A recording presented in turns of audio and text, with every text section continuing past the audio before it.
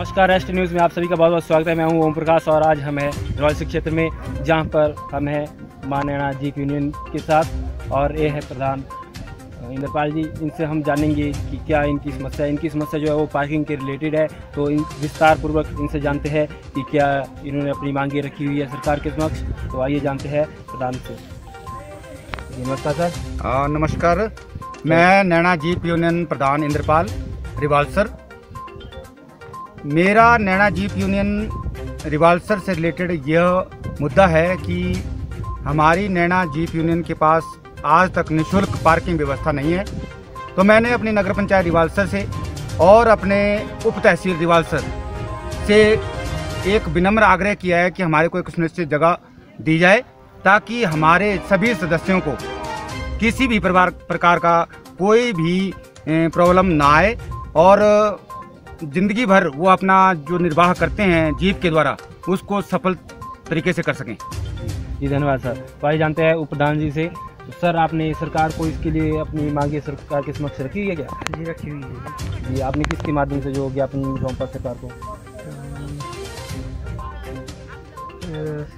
नगर पंचायत नगर जी सर। तो आपने किसके माध्यम से सर ज्ञापन सौंपा हुआ है? नगर प्रसाद सर और जी।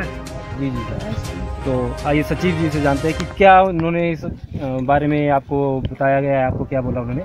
हाँ नमस्कार सर। हमें आशा है कि आने वाले दिन में जो है हमारी मांगे पूरी होगी।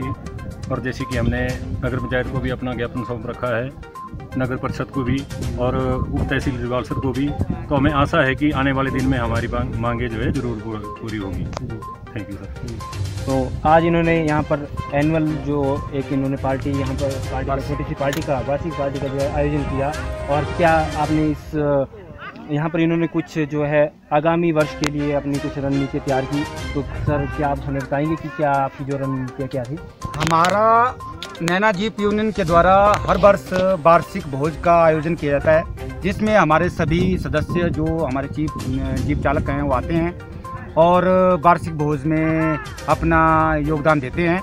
आज हम माता अडिम्बा देवी चैल के जंगल में आए हुए हैं, जहाँ पर हमारे को सभी सदस्य पहुँचे हुए हैं। और सभी सदस्यों का यही मांग है कि हमारी जो पार्किंग की समस्या है, जो सबसे विकराल समस्या है हमारी।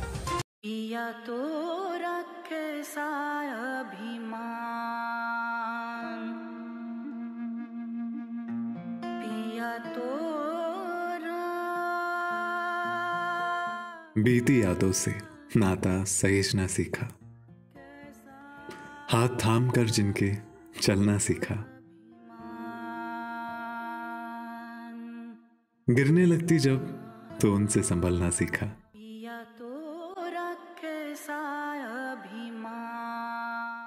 उनकी डांट से खुद को तराशना सीखा।